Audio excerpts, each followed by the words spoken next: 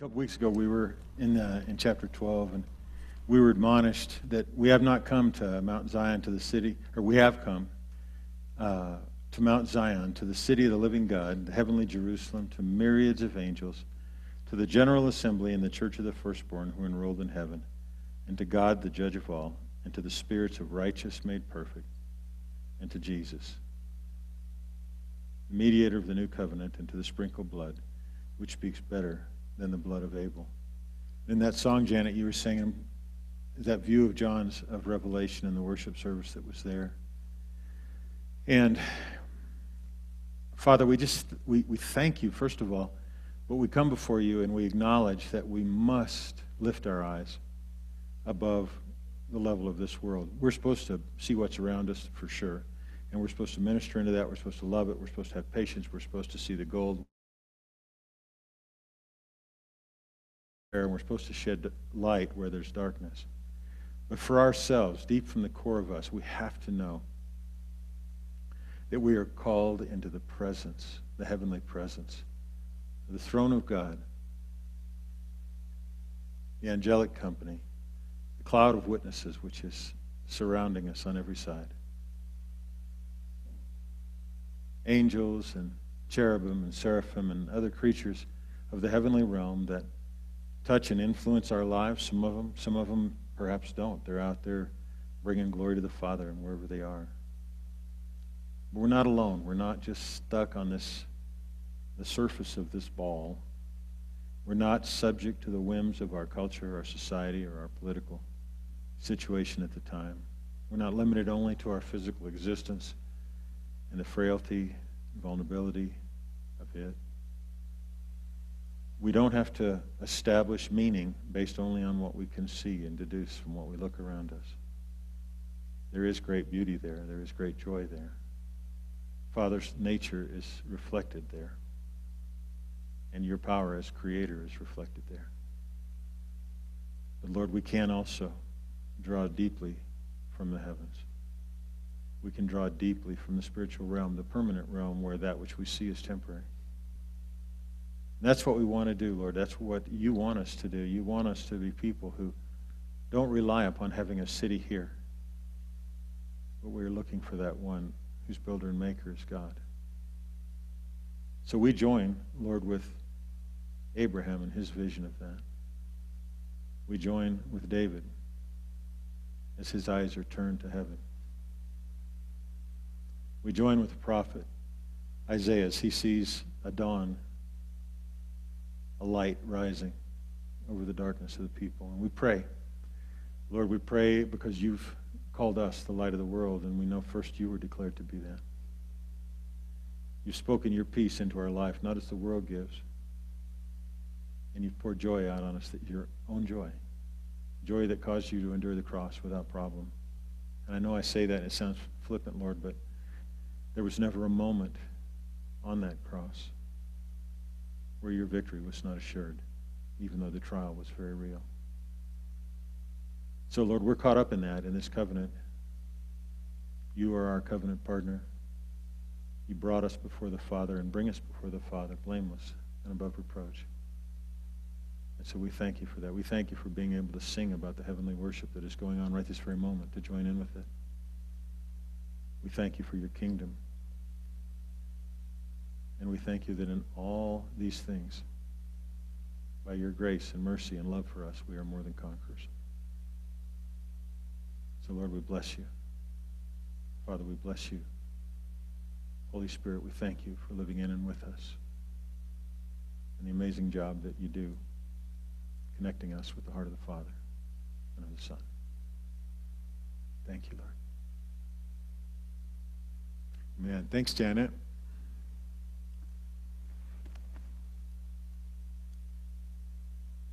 Hi, everybody.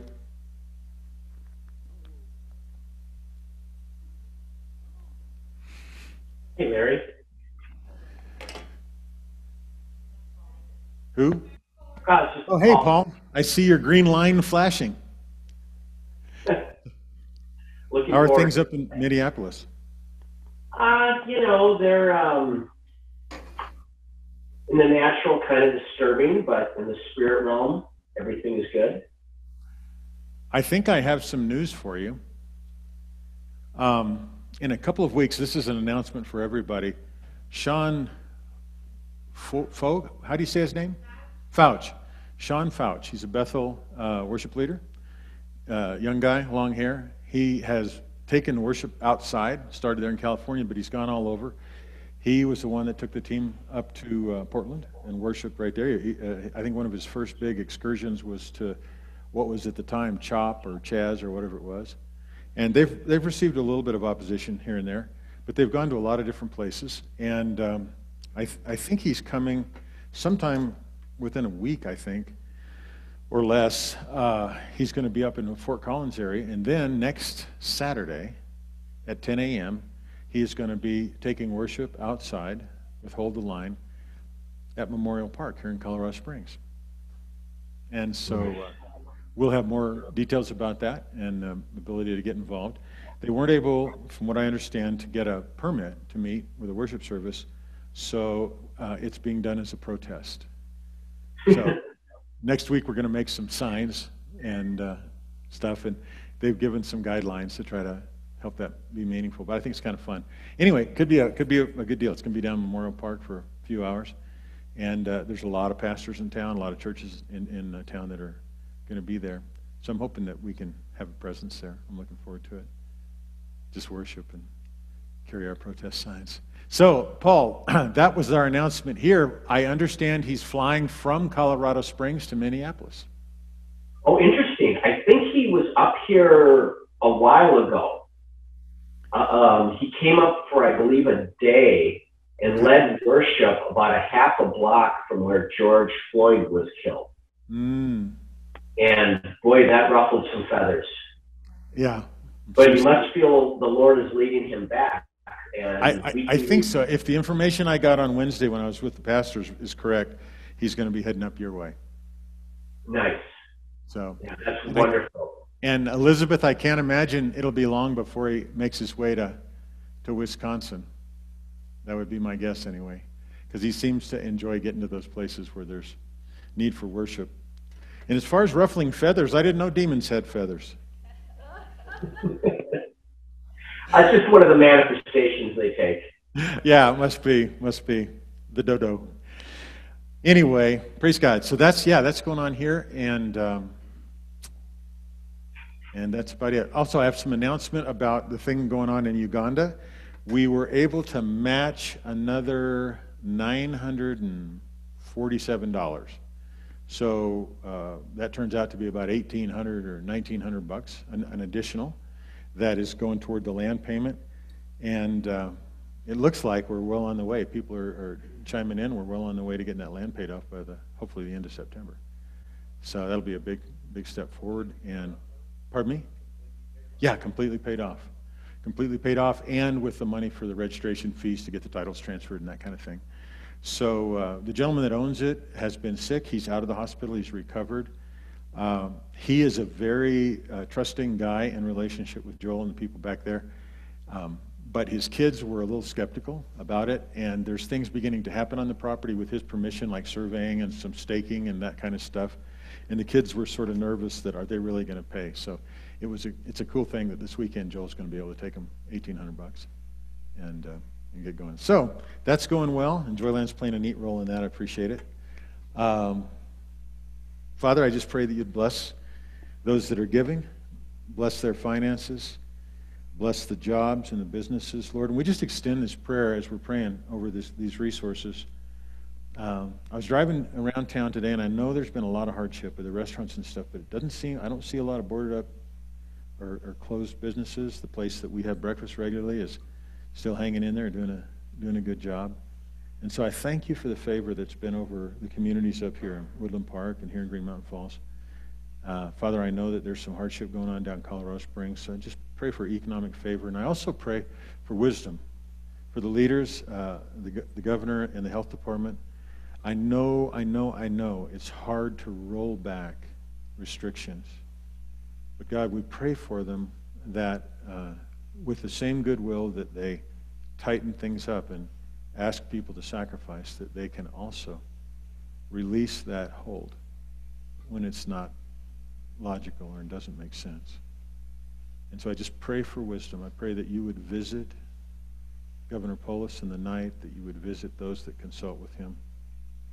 I know it's a volatile time politically with an election coming in just 60 days. But uh, there are things more important than politics and bigger things of righteousness and of truth and of humanity. And so we pray for our leaders that we might live peaceable lives, profitable lives. We thank you for it, and I pray that you give them the courage to do what is right and to know it. Amen. Amen. Uh, well, good to see all you guys. We got Florida, Wisconsin, California, Minnesota. Who else is up there that I don't like? Oh yeah, that's right. Richard's in Kansas. Hey, Richard. Tess, you're in, in uh, you're in St. Louis or Kansas City? Southern Arizona. Oh, you're in Southern Arizona. Okay, we must have. I got my wires crossed somewhere then. And there's Alan? Al. Al, oh, there's Al from yeah. Okay, let's have a contest, Al. There's hundred thousand dollars at stake. Who zoomed in from the furthest away? we'll get it to you. we'll get it to you in Bitcoin. Bless you, brother. Bless you, brother.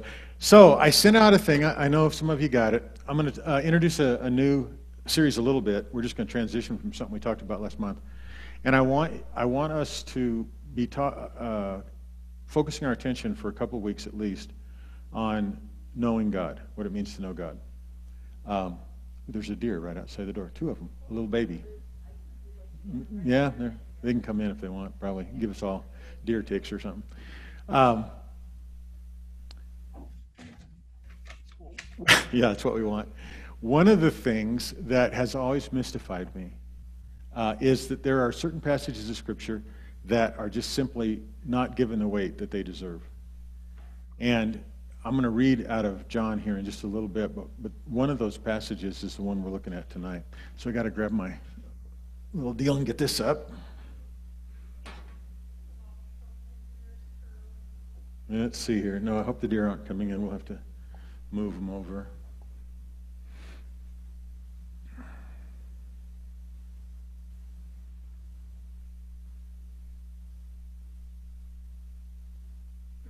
There should be a routine I can figure out how to do this. Maybe the deer will come for the fish on screen. They could, that's why I got them off quick. okay, so I want you guys to be ready here. I've got a short message today just to introduce this topic. As always, um, you're looking at something that seems pretty simple, but there's a lot in the scriptures about it. So we're going to start in John uh, chapter 17, Jesus' prayer to his Father. And this is where he makes one of those statements, like I mentioned a minute ago, that is um, so critical that you wonder why there's not courses on it, why there's not books and stuff written about it. There's been a few. I know A.W. Tozer wrote a book about knowing God, and, and there's um, J.I. Packer did too. But here's the verse.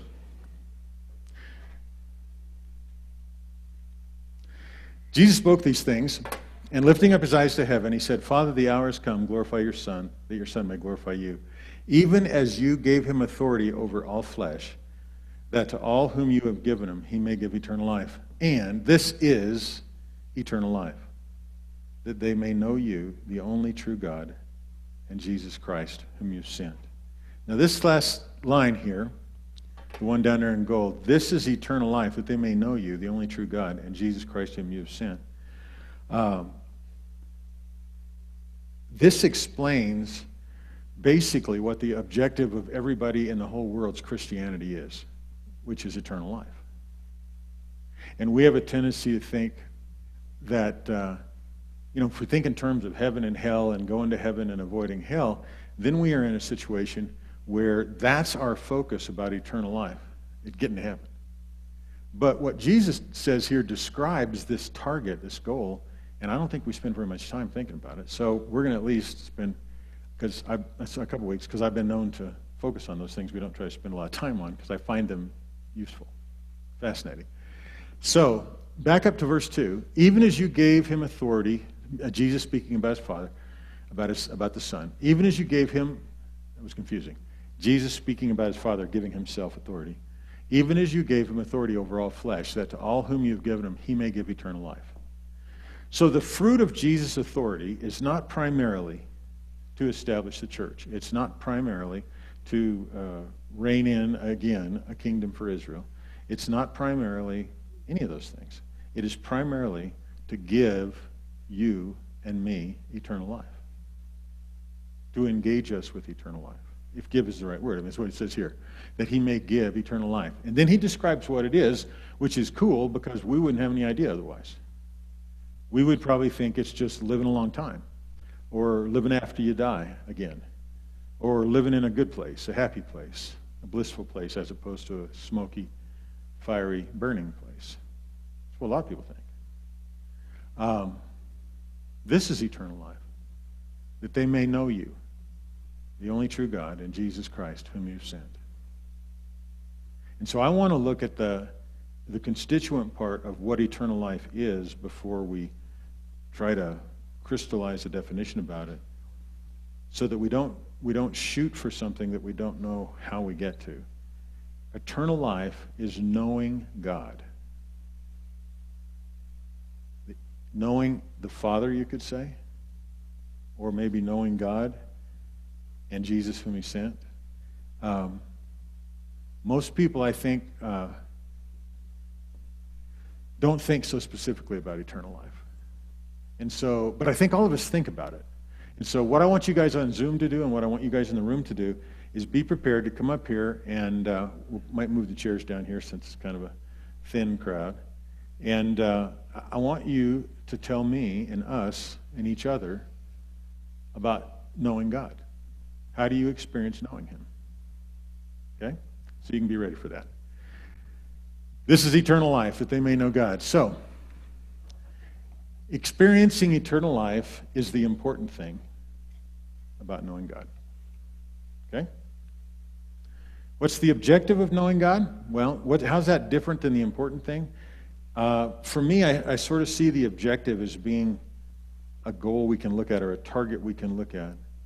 Uh, eternal life is certainly that, but eternal life's not out there someplace. Eternal life is that which we experience as we know God. And so, this is out of 1 Corinthians chapter 13, verse 8. And I think it's significant that it comes in 1 Corinthians because Paul says, I'm going to show you a more excellent way. And it's love. He was talking about a more excellent way over spiritual gifts and all that kind of stuff. Love is a more excellent way, and this is what follows the love chapter. Love never fails, but if there are gifts of prophecy, they will be done away with. If there are tongues, they will cease, and if there is knowledge, it will be done away with. For we know in part, and we prophesy in part, but when the perfect comes, the partial will be done away with. When I was a child, I used to speak like a child and think like a child and reason like a child. But when I became a man, I did away with the childish things. For now we see in a mirror dimly, but then face to face. Now, that's the first parallel that I want to talk to you about. We talked about it a little bit on Tuesday, so it'll be a repeat for Sonny and Ronnie. But um,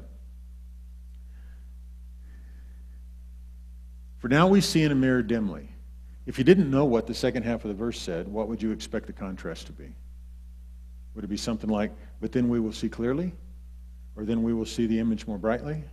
But what it says is, now we see in a mirror dimly, but then face to face.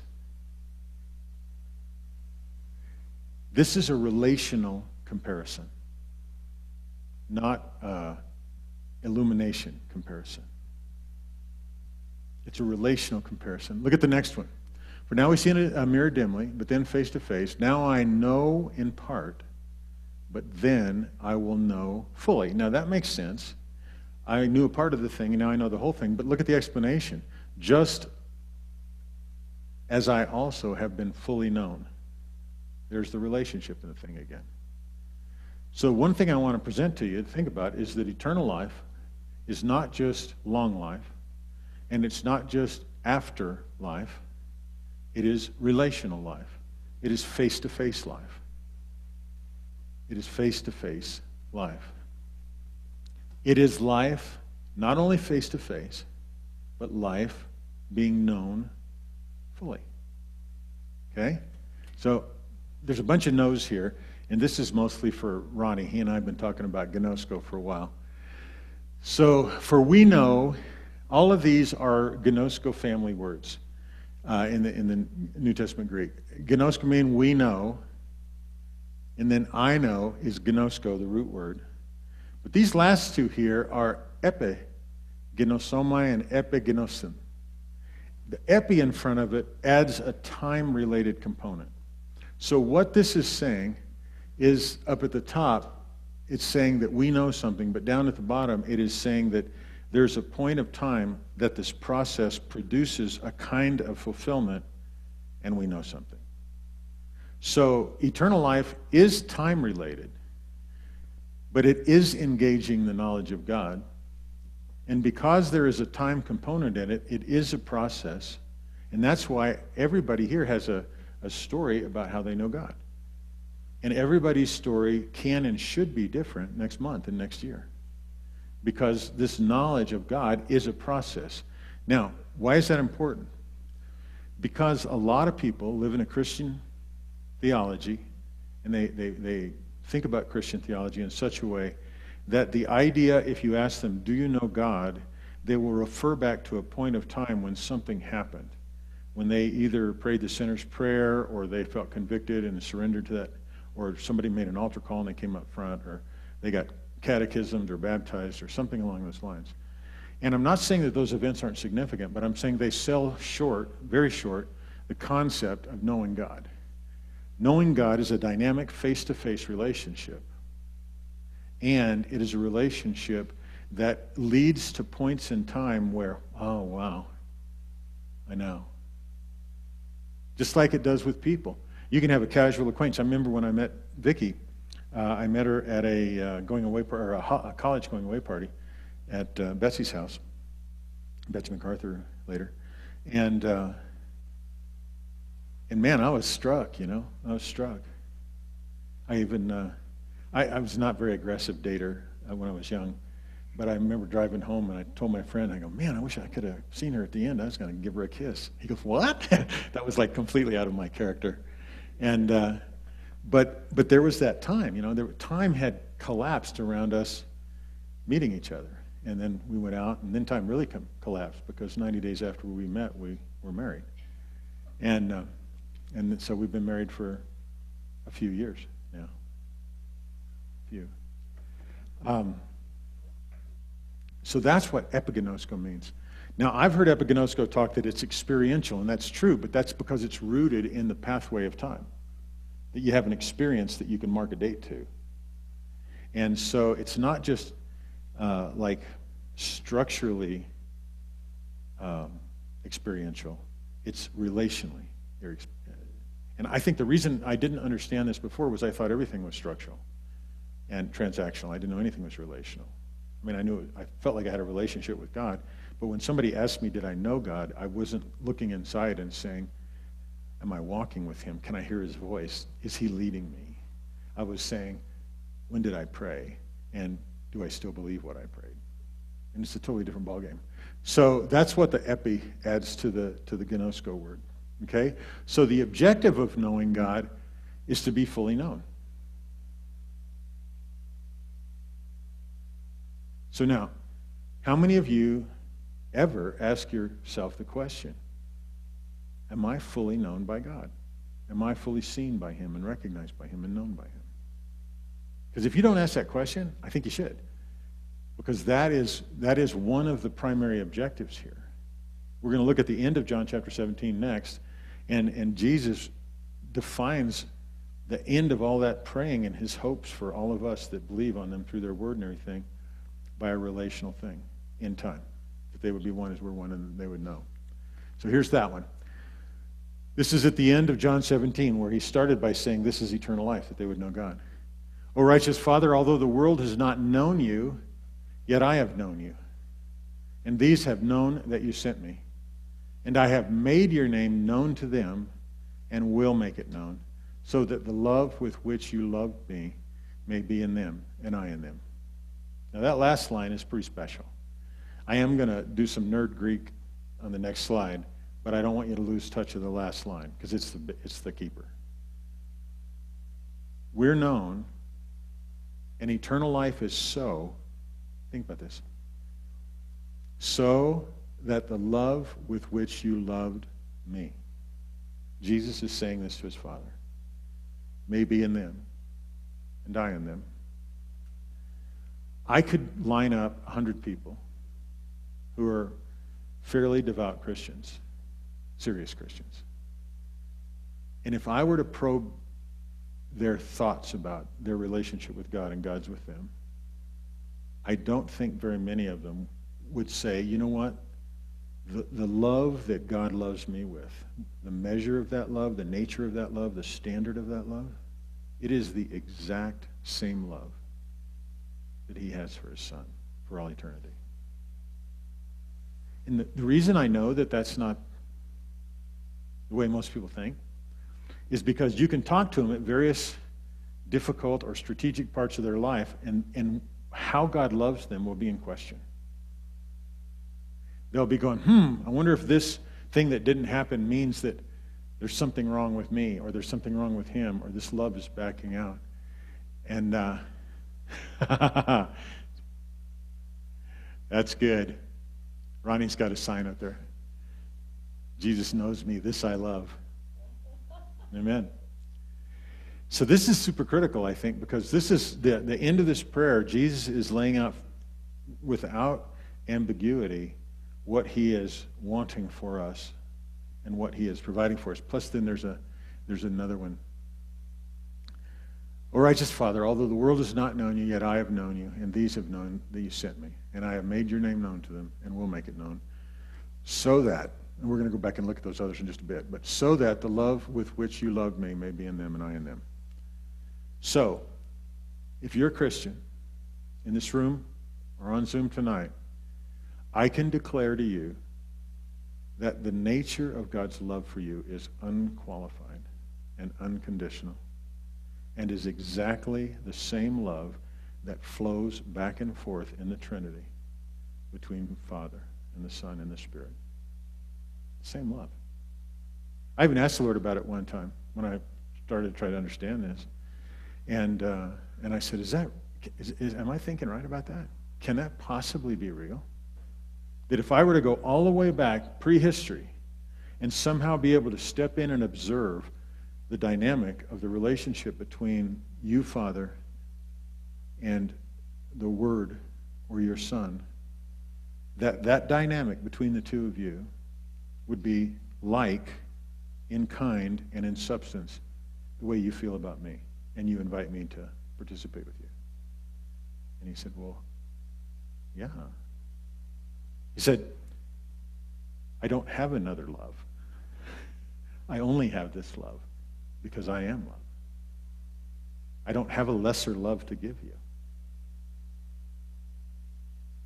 So I've been wrestling with that for a lot of years. But I believe it's true. I don't have another kind of love. Okay, so here's the Greek. Okay, now this is a, a, a little bit more challenging, but I'm not going to go too deep into this. so these first few knowns are all the egno, which is a part of gnosko. Okay, so uh, the world has not known gnoskod, but the word is egno. Uh, it's, a, uh, it's a verb tense of it. Uh, Yet I have known, Jesus is saying, so you see it's the same way. The thing the world doesn't know, Jesus does know. Egno, egnon. Uh, no sin, and these have known, so he's talking about the disciples. And here's why. Because I have made known. Now we come into a different word. It's still in the Gnosko family, but it's egnorisa. It's the norizo word, and it has a, a declaration component to it. The gnosko word is to know by observation. The epigenosko fixes a point in time where that observation is a, is a personal experience. But gnosko means to know, and, and you can know well, uh, you can know by observing something.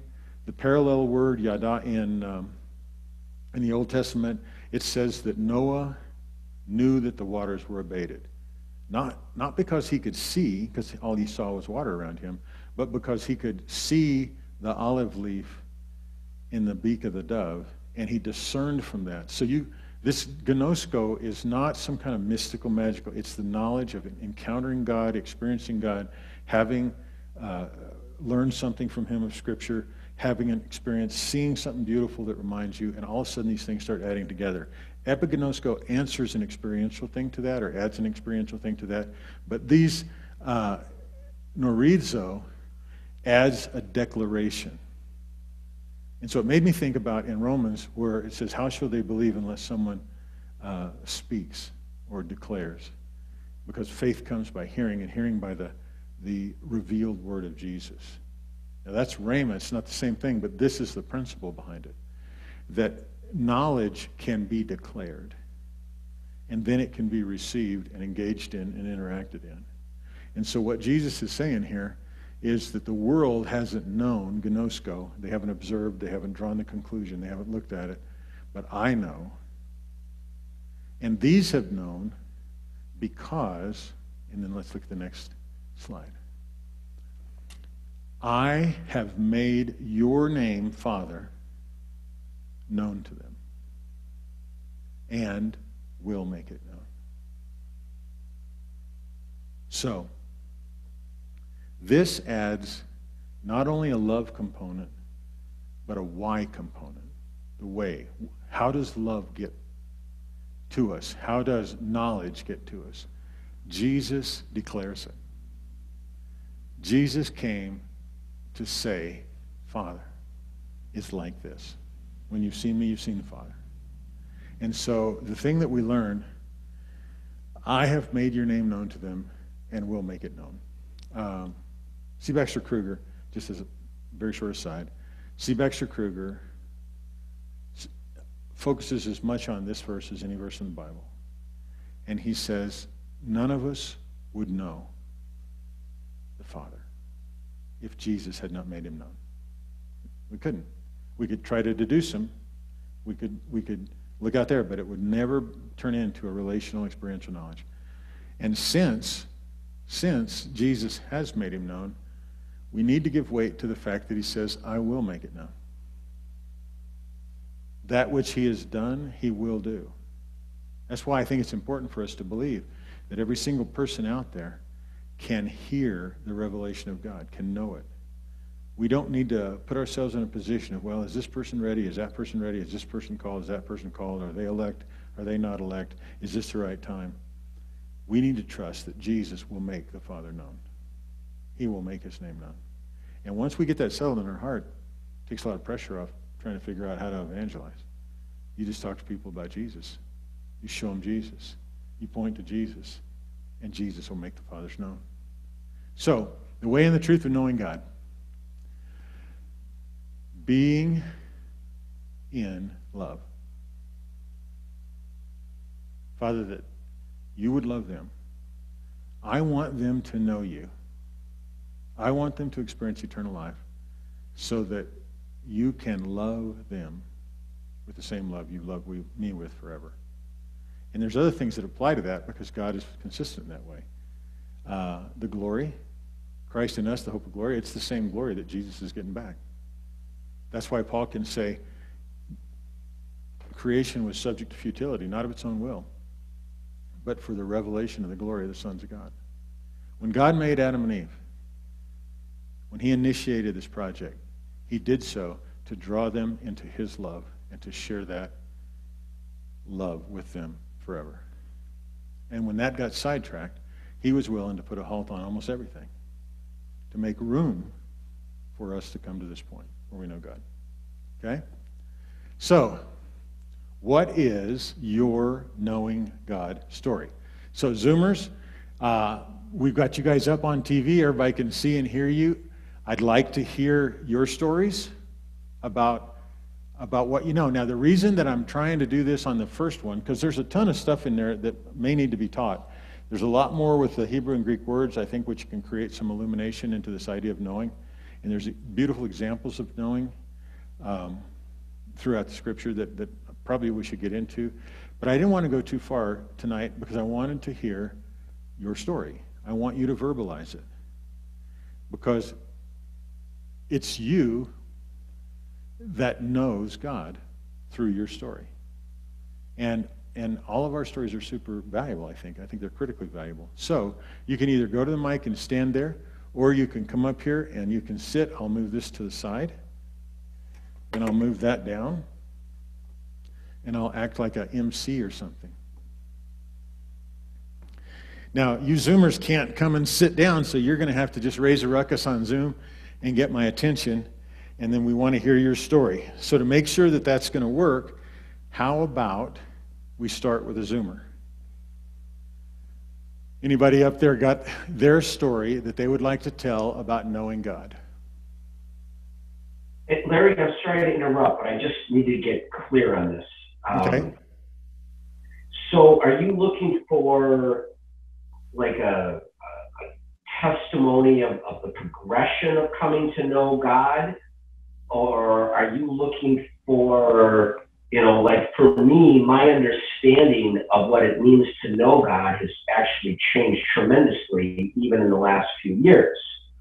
So even like my understanding of what, you know, doctrinally, like what you talked about tonight, for instance, to me, uh, John 17, 3, I believe, I've come to believe is actually like the Bible's version of what is the meaning of life in the most existential yeah, way, yeah. which I wouldn't have said even two years ago. So could you be just Sure. Okay. Let me see if I can explain a little bit more. And same thing. If you guys have questions about this, let me know because I know this is a weird question to ask. Um, I think what I would like to hear. I mean, like that little story, Paul, about your transition. There's nothing wrong with that. Uh, but what I would really like to hear is an experience knowing God. Um, like there's some doctrinal stuff that we're going to talk about next week where it says that by this you know that you love God if you keep his commandments. But that's packed full of, of baggage that we have to unpack. Uh, what I want to know is where's my briefcase? Sorry, Riley.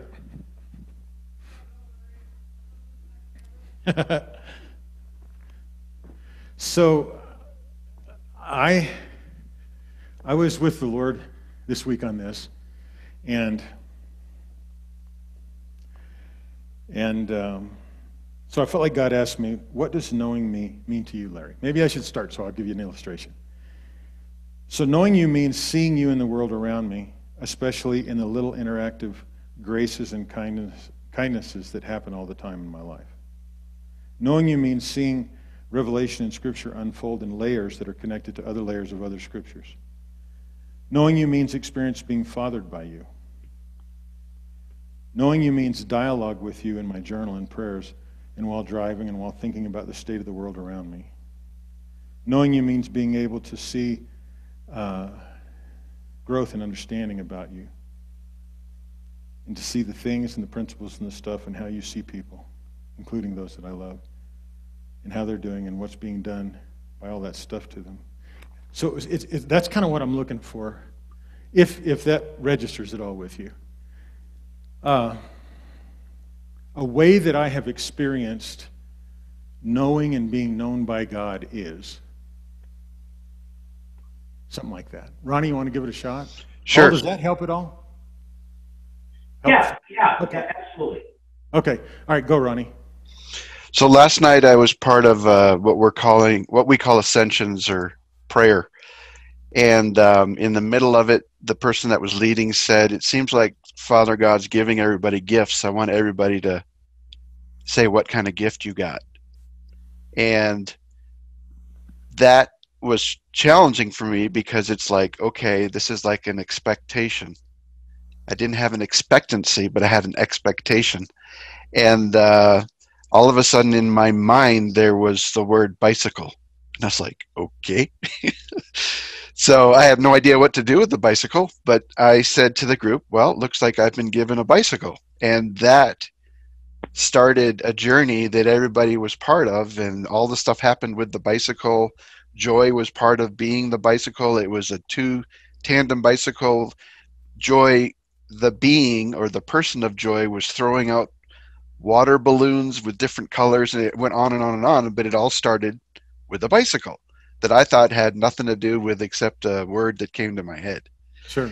And at the end, when I was leaving, I was thanking God for the new level of communication with Him and thanking Him for bringing lots of pieces together about I can have an expectancy that God's going to give me something when that thing happens and not be afraid of expecting something to happen that I don't know if it's going to happen or not.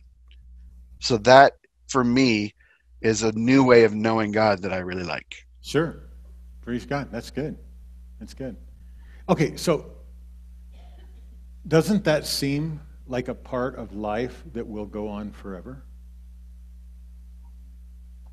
Because think about this we're finite and God's infinite. That means that we can always carry expectancy. This one thing you just mentioned, Ronnie, is one of the things that blew up my old expectation about heaven. Because I didn't realize it. I'd just been taught all my life and led to believe that, that uh, when I died and went to heaven, that all of a sudden I was going to be perfect and that everything was going to be known. And, and it wasn't until I was quite a ways into my adulthood that I realized how absolutely boring it would be to live in a place where you knew everything if there wasn't stuff to explore and relationship to have. I think God's not bored because he has a chance to see life through us and he can experience it fresh and new, but it's this kind of dialogue with expectancy. So, anybody in the room want to give it or we got another zoomer ready? I'm happy to give it a go. Okay, Alan. Look, it's all about relationship and it's building that relationship. It's it's about being the bride of Christ. It's about being one with him. It's been about to me it's about being not scared of being me or who he's created me to be. It's it's being bold. It's it's it's actually when I say being one with him is one of the things is I've realized that my thoughts are his thoughts. I have the mind of Christ. So if I have the mind of Christ, his thoughts are my thoughts, my thoughts are his thoughts. You know when the carnal thoughts because of nature and character, so I can think in the two. But it's like when you start a relationship with someone, it takes time and it grows and it grows and it grows. And the only time a relationship will stop when someone actually puts doesn't want to be there anymore. But I believe that I dance with you know it's it's it's everything that I am. Mm-hmm. It's everything I am is his. And I think that's the biggest thing. So I walk with him, I talk with him, everything I do is about who we are. I don't separate myself from him anymore. Yeah. I can't because if I did, I would just be nothing. So, is there a discovery component to this idea of, oh, that's you too in me? That uh, this thought is is is discovery. it, it is. It is. It, it, it, every day is exciting. Dad, what have you got for me to do today? What are you What are you going to teach me today? Where are you taking me? Um, I talk to people, and what comes out of my mouth, I know it's him because he's a lot cleverer than me. I say, I must write this down when I get off the phone because, Dad, this is amazing. So this dialogue going here all the time, I dialogue there. And and one of the biggest things I was coming back from from a funeral earlier on the year, and I was saying to Dad, I was going along, and you know, Dad, I talk too much. What do you want to tell me? And and that's when he, he I heard his voice. I know the thoughts came into my brain. I know it's him because I know his voice now. I can recognize it. Just like when you have a relationship with your kids, they can be in a crowd and you know their voice amongst the crowd. Mm-hmm. And that's the relationship he desires to have with us, no matter what's going on, whatever the storm is, he's still there and he's still talking. And we can hear it and we recognize it and he can guide us through that storm. Yeah. And and you know what he said is he said he said to me, he said, um, my people, my, my children don't do the first commandment very well. And then he said to me, but how can you, how can you love someone with all your heart, soul, and mind when you don't know them? And getting to know somebody, what are you going to do? You got to sit with them. Listen to him. You got to spend time with them. Yeah. And it's it's just spend time with dad. Like it can be sitting in the car. It can be times in the morning when you just dad, I just need a bit of time with you. And you know when you need time with him because turmoil takes the storms become real in life and you think, Oh dad, I've just got to settle come back to you because that storm is too big for me. Yeah.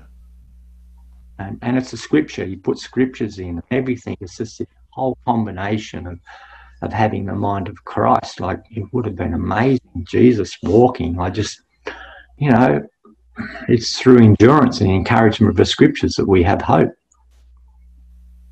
Yeah. So my walk with dad has changed over the last 40 years. The first 30 years, as I said, I was trying to be a son. Now, I, the last 10 years, I am one. That was the biggest change that I understood who I am, who He's created me to be. It's nothing to do with me, it's who He's created me to be. And then there's that journey that then goes on because I've got questions I ask him. And sometimes you've got to wait for the answer, but sometimes he just tells you. Right. It depends where you're up to, depends what you're experiencing. But he walks with you. Mhm. And it's that uh, I'm not trying to prove that God's real anymore. I'm not trying to prove that I'm a son of God. I am one. And he loves us. As you say, brother, the, the biggest thing is his love like to be loved by somebody, the extent that he loves us, and to understand that, no, you know, my people perish for lack of knowledge because they don't understand how much he loves us and wants to be one with us and wants to, like, I used to think I could hide things from God. now I'm just bare. Dad, you know my weaknesses, you know my faults. Mhm. Give them to you. And you know what? It's never a problem. Amen. Amen. You, you know, as you guys, as you listen to Alan's uh, testimony, um, just grab the mic and come on up or whatever. As you listen to Alan's testimony, and Alan, as I, I hear you talking, I can't help but go, well, this is Scripture coming alive. You know, Jesus says, My sheep hear my voice, and they won't follow the voice of a stranger. I know my own, and they know me. And this is just what you're talking about. And I can see your life, the way you're experiencing it now, being a satisfying life to continue to grow in after you die, are resurrected, and are living in the eternal thing. It's not ever going to get old. And, and, and we have the advantage that God's infinite, we're finite. Even then, after we're raised from the dead, we're still finite. There's still boundaries that, that God's going to be able to release to us to explore about our relationship with Him, about His love, about all that, and about other people around us, about creation, about the cosmos, about the stars, about the spiritual realm. It's just like a wide open deal. I really love it. You want to sit up here or you want to stand there? Yeah, grab the mic there, right by you. Oh, yeah, just bring it with you. Excellent, Alan. Thanks, man. We had an interesting experience last night. We met with a couple that didn't have a church background, and they uh, were in crisis. And so we were talking about laying down kind of the guidelines for um, how we handle mentoring. And um, about halfway through our conversation, Tim asked them, uh, Are you born again? Have you ever, you know, what's your experience with the Lord? And they both, um, you know, acknowledged that they didn't know him. And so uh, we prayed with them and, uh, you know, continue then to just kind of pour into them. And the breakthrough that I saw with her, because she was really hurting and she had really shut down. And so, how do you know when you're reaching that person? And I looked at him, and and it wasn't even me. I mean, most of what Tim and I experienced last night was not us. We were just kind of sitting there, and the Lord was speaking through us because, you know, we're not counselors. We just want to do what God calls us to do. Anyway, um, I said to them, I looked him in the eye and I said, God accepts you where you're at. He loves you just the way you are. And there was a breakthrough, an amazing breakthrough on both of them. I mean, they just, wow, God, God of the universe actually loves me. I mean, it was just, it was. What a revelation, huh? yeah, it was it was profound. It was it was amazing. So That's really anyway, awesome.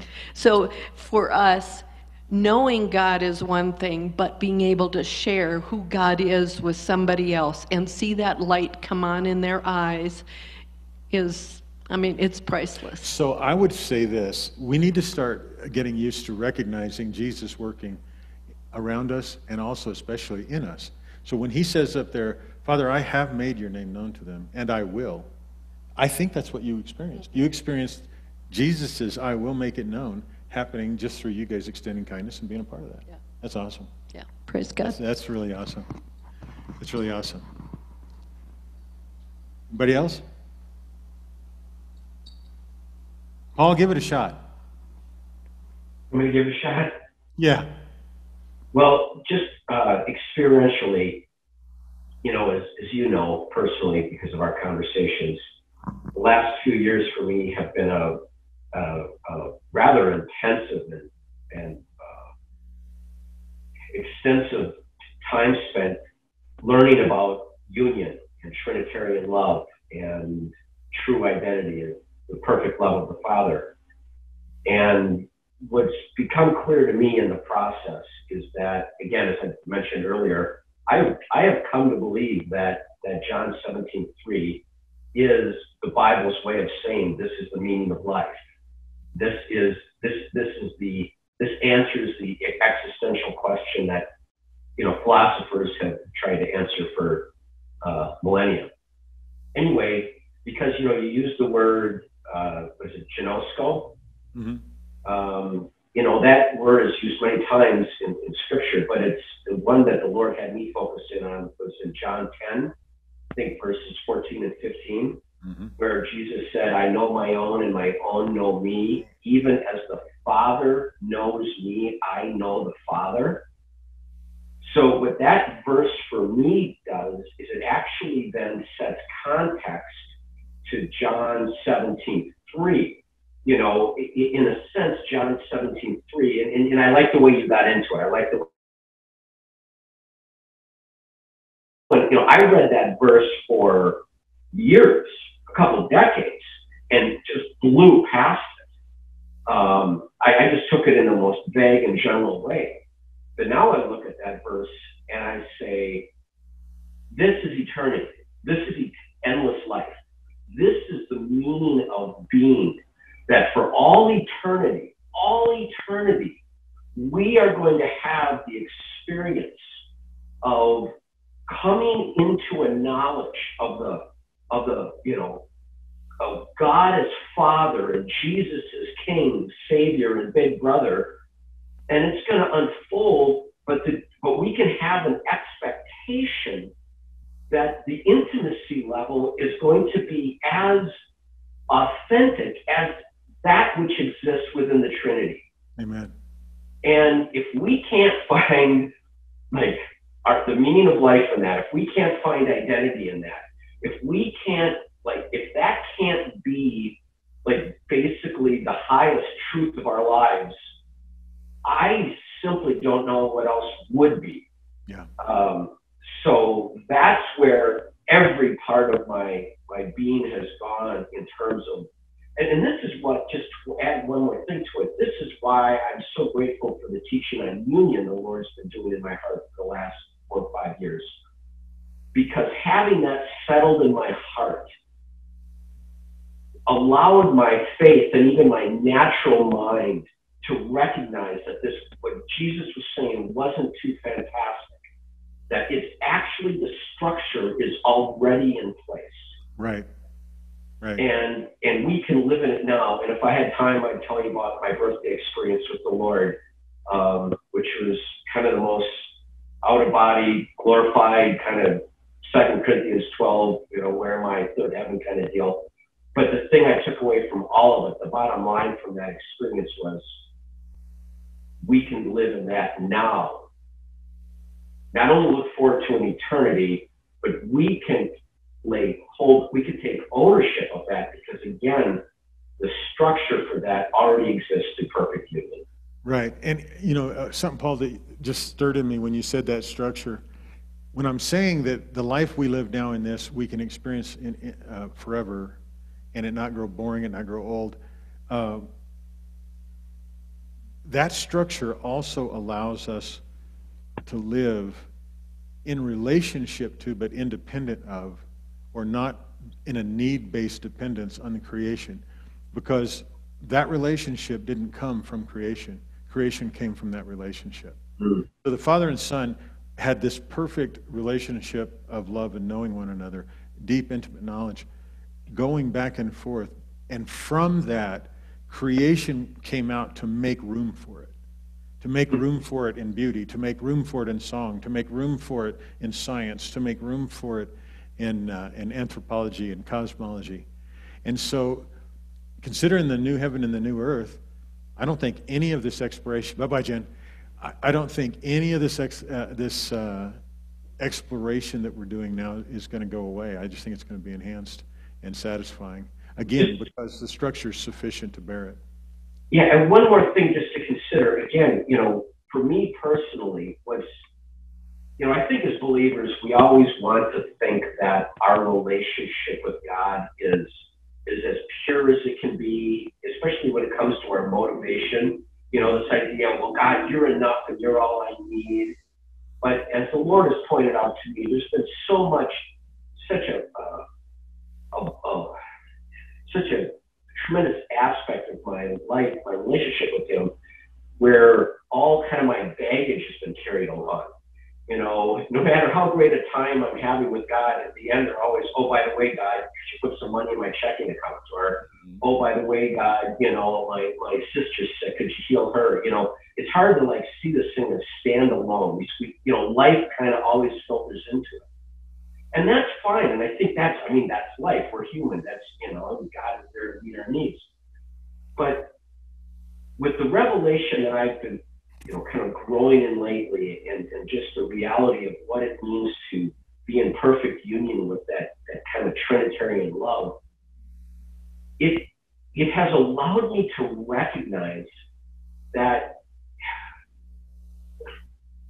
that simply by, by allowing myself the freedom to let that be exactly what it is, kind of like the, the highest purpose of being, it's put all other needs in perspective.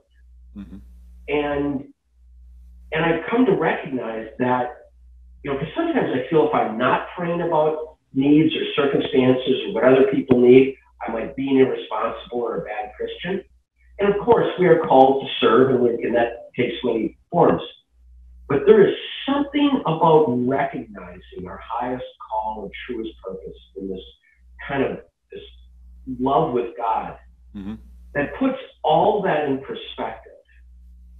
And when we know that, that place of love, things like faith come so much easier. Faith truly does work by love.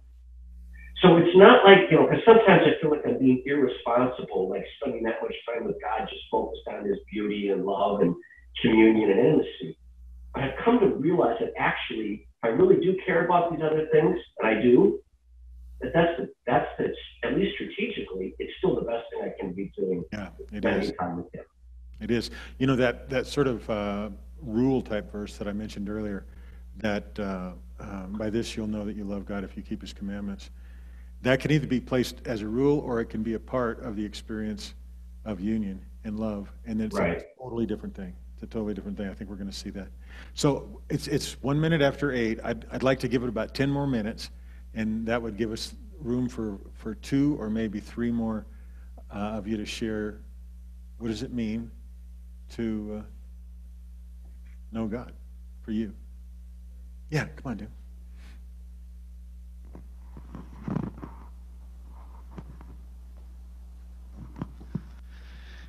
Yeah, praise God. I, I believe for me, um, we were t- discussing some of this on Tuesday night at the Bible study, but for me, it's been a process or a journey um, that really kind of accumulated more, I would say, in the last four or five years. Um, some of your teaching changed because of influence that you had, and you always were involved with our Bible study on Wednesday, and so we would hear Larry's sermons and we would discuss it in the Bible study. and you were introducing us to people like, you know, uh, Kruger and Moeller and, um, you know, Paul Young and all these people. And, and it definitely um, set a new tone. And then, you know, Meg and I became a part of Global Ascension Network uh, with Ascensions and working with Nancy and her group. And, and you've been involved with that. And so we have a couple ascensions during the week that are Joyland and one that's uh, with Nancy's group uh, with Gain. And just the whole experience of knowing God on Mhm. a different level um, has really changed. Like it's like going from religion to faith teaching to complete growth. Mhm. You know, it feels like a promotion each time, and um, and, and I just love the fact that you know I had a different uh, view of the father. You know, because of my own father was a strict disciplinarian, very kind of harsh. And I thought God was the same way, you know. We've often joked about the fact Meg says squash like a bug. I say squash like a grape. grape. I, I thought that's what he would do if I didn't. He wants to get a little perform. communion out of it. but you know, th- I don't feel that way about the Praise Father God. at all. I know He's real loving. He's very forgiving, and um, if I didn't feel that way, then Jesus wouldn't have paid the price for me that He did, and and that's been an awesome experience. And to me, like the the cherry on the sundae, if you will, spiritually speaking, too, uh, was last night, like what Meg was to saying. You know, to meet with this couple and. And, and I just knew I was to ask him, do you, do you even know the Lord? No. Mhm. You know, do you have a Bible? He didn't have a Bible. And to be able to ask that and it be okay Yeah. when they answer it that Yeah. way.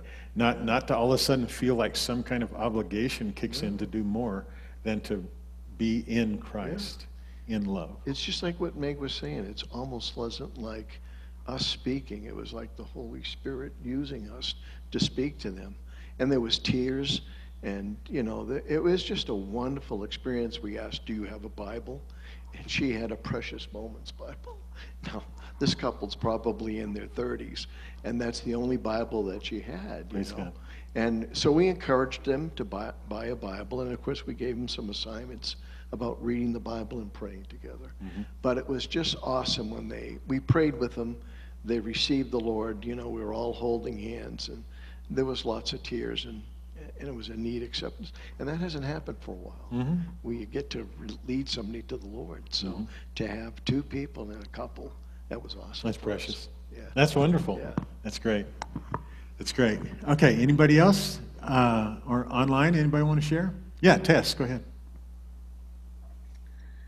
Um, I hesitate sometimes to explain it because my my growth relationship with the Lord didn't come through getting saved and then going to church and doing all that. I had an encounter with him as a toddler at three years old, and it lasted continuously for some years where I sat in his lap face to face in the spirit realm. Um, and so, As a three-year-old. as a three year old, four year old, on into my first grade, second grade. And it wasn't until I shared that experience with someone who happened to be the daughter of a pastor of the church down the road that she attempted to tell me what I was experiencing and that I needed to go to church. And as Lynn Hiles is often quoted to say, I went to church and became an unbeliever um, because there was all this legalism and, and constraints that couldn't relate to what I had experienced. And I was um, I was a compliant child, and so it was my nature to submit to authority. And so when there were people in authority telling me that what I experienced couldn't be real because their interpretation and understanding of what the, the Bible said was at odds with what I had experienced, I began to allow them to change my mind about what I experienced.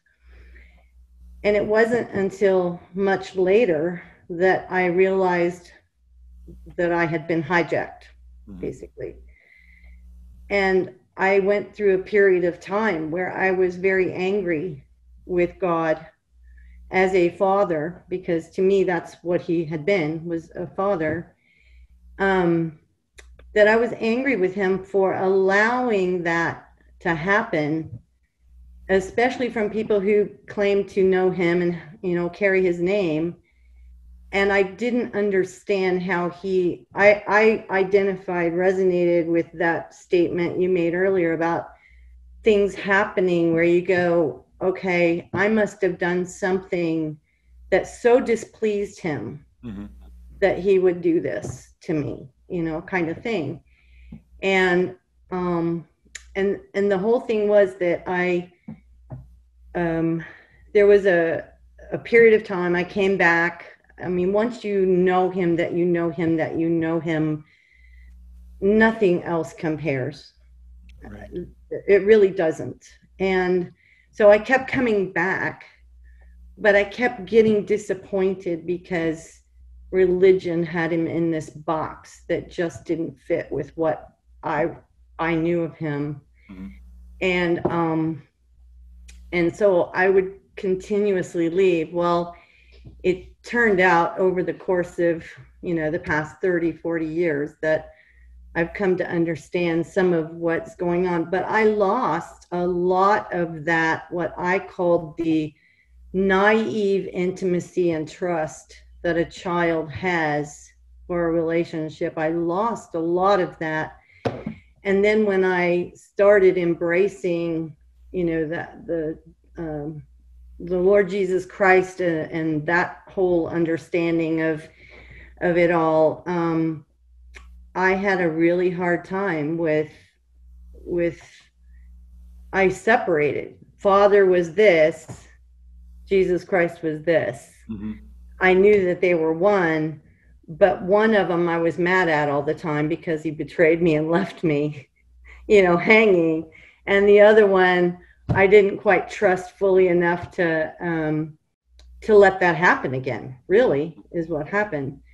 But it's sort of it's sort of interesting. Somebody said earlier about how, I think it was Al, mentioned, you know, that his relationship grew and, and changed and all this.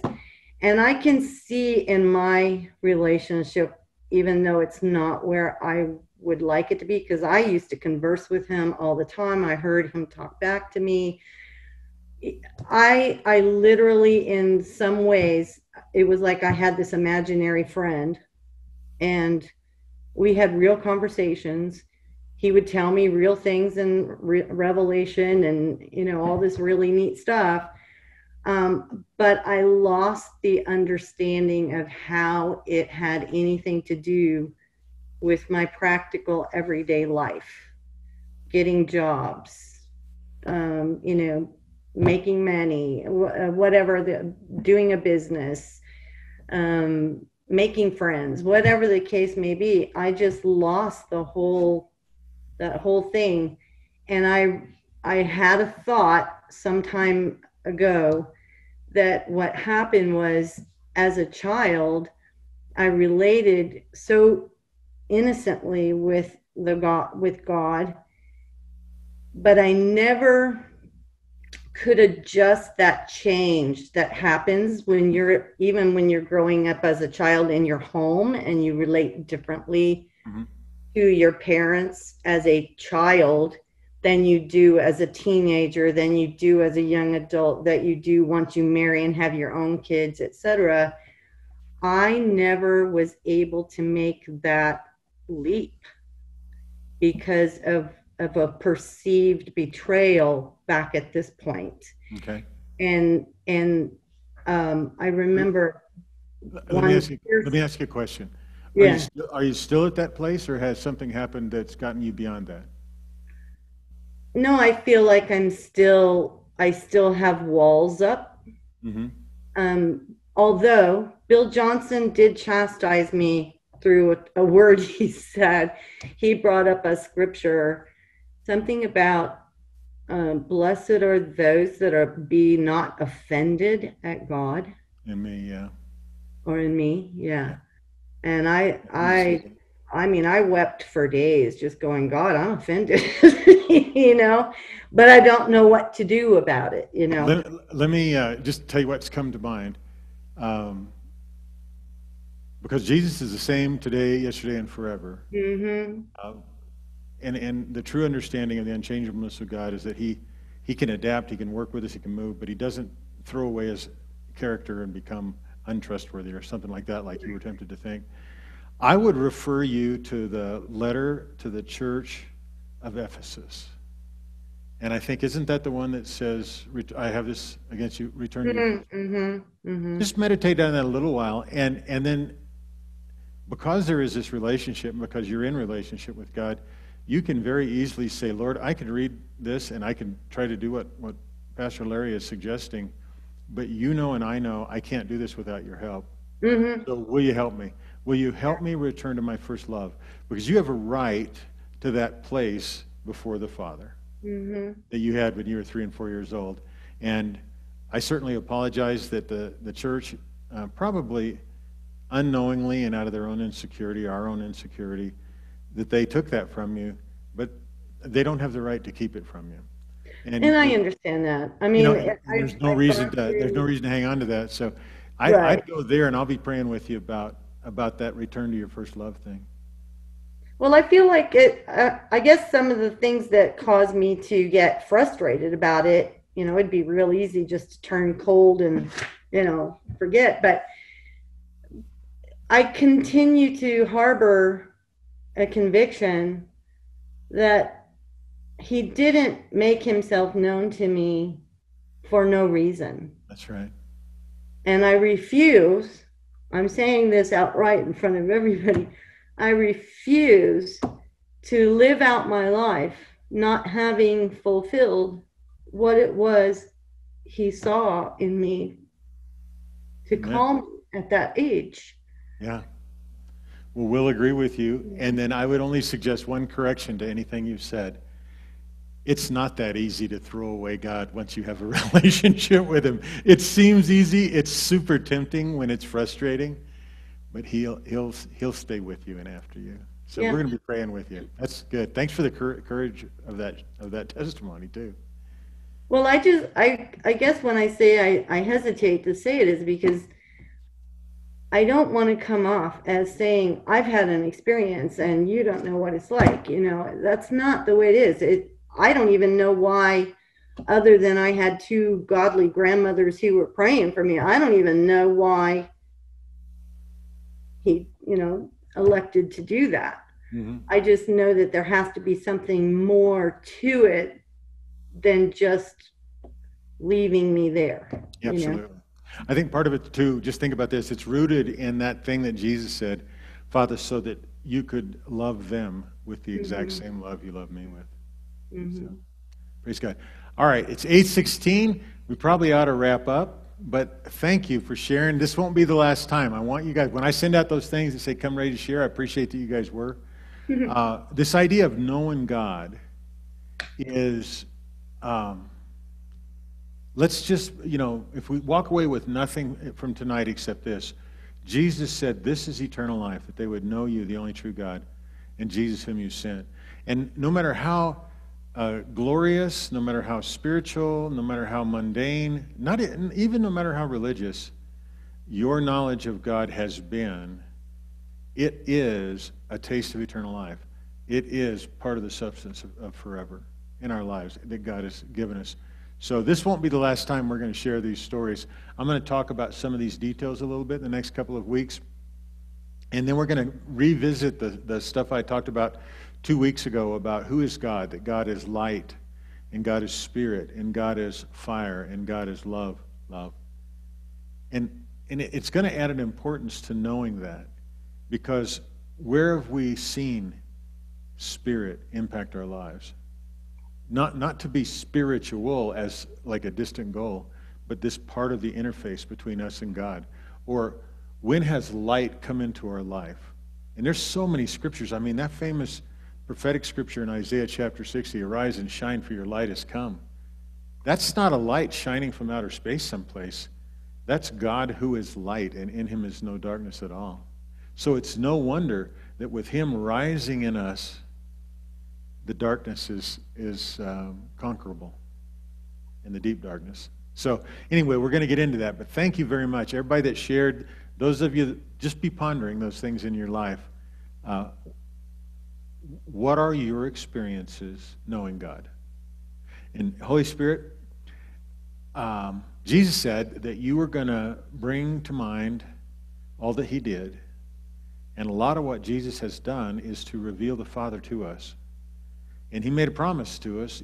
You made that promise. You said that uh, uh in that day, and I believe with all my heart that we're living in, that day, that day after the Spirit has been outpoured, that day after you have uh, obliterated sin as an issue once for all, that day after you've poured out your blood on the heavenly tabernacle, the heavenly altar, and that tabernacle not made with hands. In that day, we're going to know that you're in, in your Father, and that's a good place for us to start meditating. So, Holy Spirit, show us what the dynamic life, like Paul talked about, what is that life that exists and has existed before creation between the Father and the Son, and is that the life that we are being invited into? Is that, is knowing the Father the way the Son knows him, and knowing the Son the way the Father knows him in the Spirit, is that the promise of eternal life?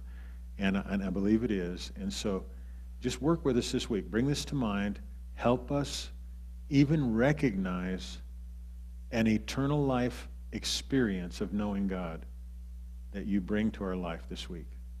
And we love you. We know we'll grow by it. And uh, we have plenty of occasion throughout the week to talk to one another and, and uh, testify to these things. But open our eyes to them, Lord. I ask in Jesus' name. Amen. Bless Amen. all of you. Amen. That was wonderful. Amen. Hey, Larry. Yes, who's talking? me, Ronnie. Hey, Ronnie. You know that first scripture that you showed on the Prometheus Promethean board? Uh huh.